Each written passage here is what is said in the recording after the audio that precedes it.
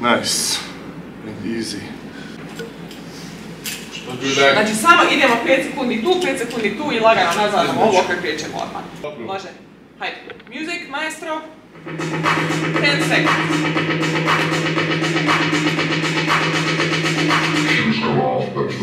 Three.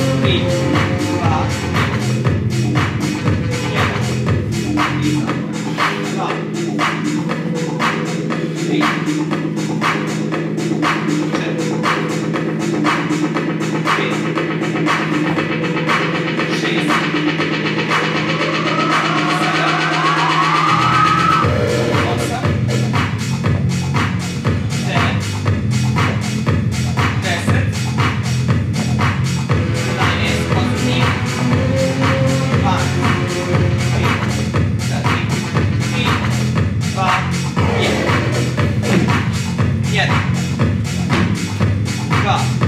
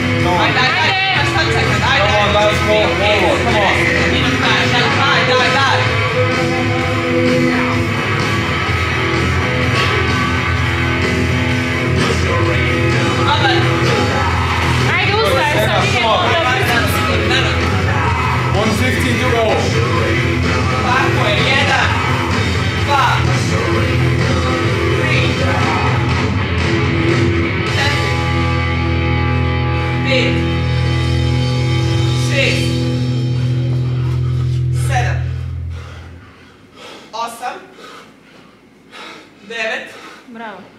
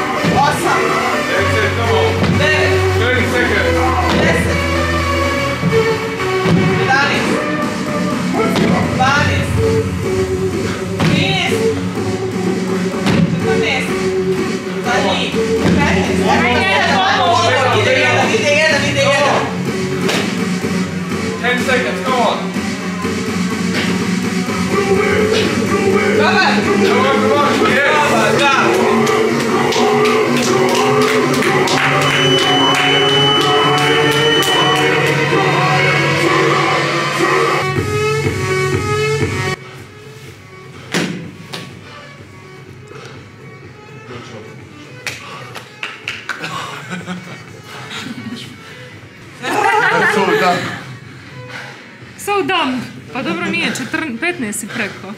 Pa kako sam htio. Pa tamam, ekstra. Realno ne čuvaj se za 7 godina. Kako zagledaš momce. I was afraid I didn't put the uh, what the, the clock right, and then I started the stopwatch on my hand as well, just to make sure. Ajde Dine da se potpišeš. Dođi, Arpin, moraš se popisati tako dok ležiš. Uh, e tu.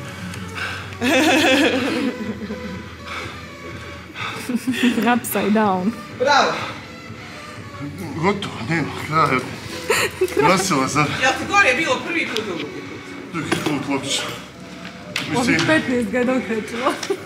Citizenship I could decide, but as a German I just want- can have one. bilo je dobro. Bolji sam za koliko, 15. 15 ponavlja, znači završio sam sedmu rundu, počeo osmu. Ništa bez pomoći, bez coach, bez CEO, Amila i.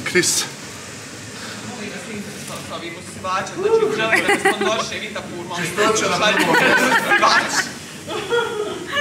čistoća. Eto, Tako je da gotov sam. Vidimo se sljedeći sedmici u Novom Openu.